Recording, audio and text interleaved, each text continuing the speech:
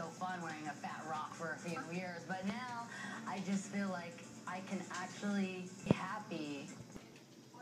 She's engaged. Ooh, she has blue hair too.